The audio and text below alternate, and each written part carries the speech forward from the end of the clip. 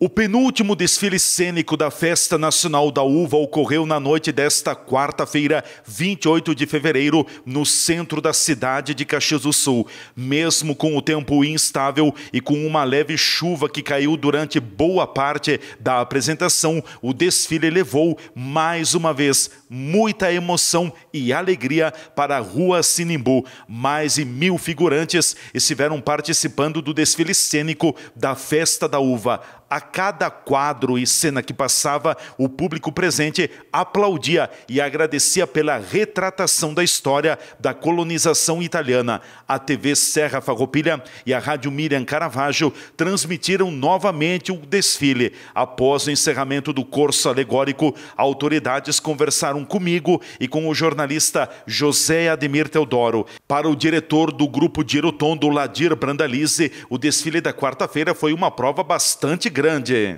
Todo mundo que está em casa, esses meninos aqui, que eu assisti no outro dia também, eu vi, eu vi o replay, eu fui lá no, no, na internet e assisti tudo e nós compartilhamos muito. Muito obrigado por transmitir o desfile também com grande qualidade, viu? Assim, um dia como hoje tem tudo para dar errado. Por quê? Porque tá tudo preparado e num pouco chove Sim. e a gente em cima de um trio elétrico e, e fios elétricos batendo na gente, instrumentos que molham e, e estragam.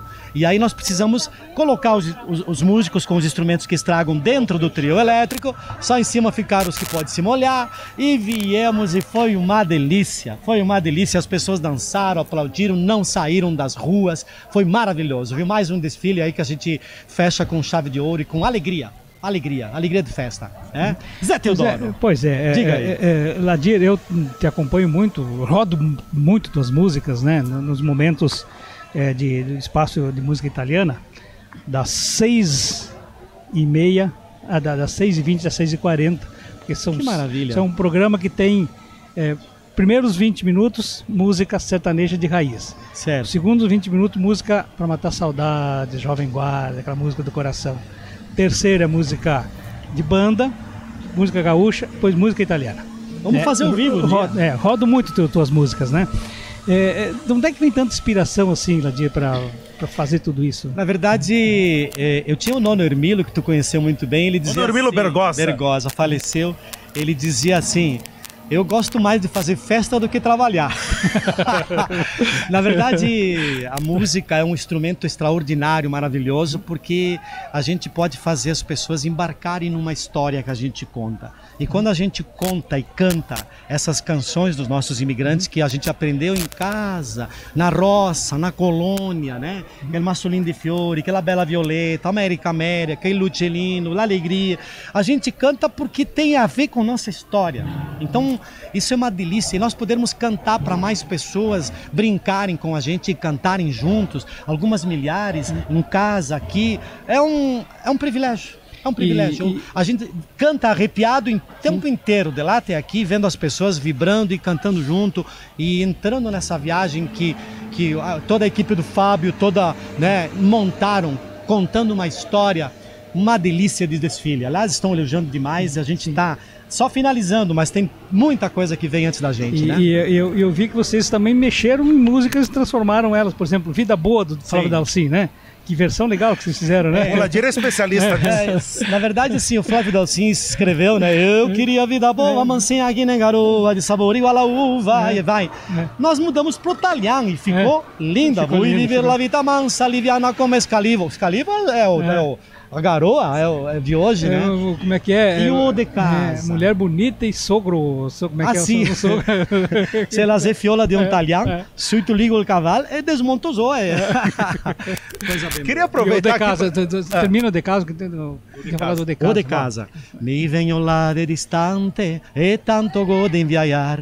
Entre a casa de um talhão, me fermo para descansar. Desmonta del teu cavalo e fermete um pouquinho. Demo em cantina e bevemos um bicherotto de vinho. Olha que lindo, essa, essa versão é do Ivo Gasparin, né? Do Escada Rolante, Flores da Cunha sim, sim, e sim. Grupo Ricordi, né? Bom, para fechar, para liberar, porque tem aqui o Fábio Coelho também, que é o diretor cênico, né? Queremos ouvir o chefe, né? O, é, com certeza. Eu, canta, canta só, isso, só o refrão aí, Tiribim Domang Le Festa. Le minha festa, se lavora Domang, né? Sabia saltar tá? É festa, tiribiribim não se lavora, tiribiribim gola amorosa, tiribiribim são da trovar, tiribiribim domang é festa, tiribiribim não se lavora. Eu vou trabalhar, mas acho que nem vou trabalhar. Vai chover?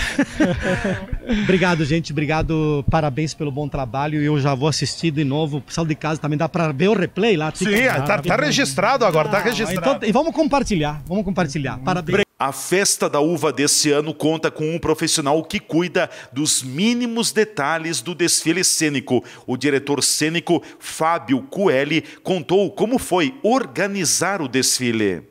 Hoje, é, pensando sobre isso, é quando eu fui convidado, né, chamado para fazer o roteiro, a concepção do desfile, ah, eu me conectei com as nossas raízes e com essa ideia da cucanha, que a ideia da cucanha é sempre esse lugar de sonho, onde tem o fantástico, porque naquele momento, quando os imigrantes vieram para cá, tinha no imaginário deles uma possibilidade melhor de vida, né? Então, eh, não só eles, mas toda pessoa que migra tem no seu coração uma vontade de viver um sonho. Então eu pensei, bom, o desfile precisa tocar nesse lugar dos sonhos, porque a gente se conecta como humanos quando pensa no migrante que vai deixa sua pátria mãe, vai para outro lugar, sabe dos desafios que enfrenta. E Caxias tem uma questão que é essa preservação da sua cultura.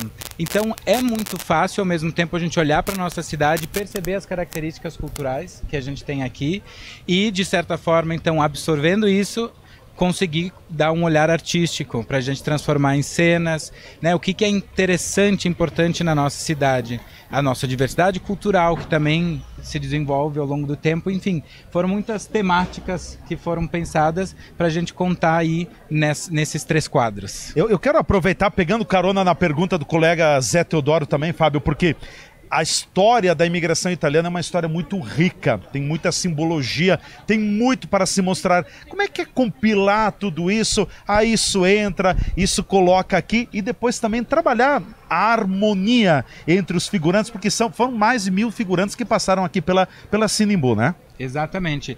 O que a gente teve é uma estrutura que eu acho que funcionou muito bem, que foi da direção e da direção a gente te, eu tenho três coordenadores de coreografia, que nós somos colegas que trabalhamos juntos. Então cada coordenador tem o seu espaço e mais uma coordenadora dos distritos. Então somos quatro que trabalhamos para que ah, todo esse pensamento da direção de cena a cena acontecesse. E cada um desses coordenadores tem os ensaiadores e as ensaiadoras de cada cena. Então é muita gente envolvida pensando nos detalhes, na movimentação, na coreografia. São artistas da cidade de Caxias do Sul. Esse ano a gente está com muitos grupos de teatro, de dança. Bom, o Ladir estava aqui, né? É um deles que anima a nossa festa.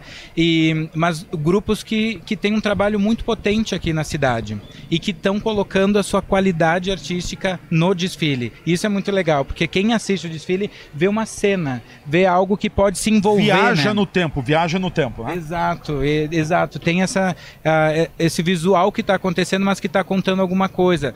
É, diferente de, de a gente observar e não conseguir identificar o que, que, que qual é a sensação, o estado, a emoção que é aquela cena. Eu acho que nesse ano os grupos conseguiram construir isso com o público, de apresentar uma emoção da cena.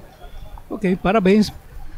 Muito obrigado, obrigado por vocês estarem aqui, por esse trabalho. Obrigado. E convidamos, né, todo mundo que pode comparecer no sábado, às 20 horas, a gente tem o nosso último desfile. Vai ter surpresa no último desfile ou não? Então, surpresa, surpresa, né? Não adianta não Venham. cair, né? Pode ser que Venham, sim, né? venham. Pode ser que sim. Pode, pode, Pode. ser que sim. Tá, vai ter. Já vai ter, tá confirmado, né?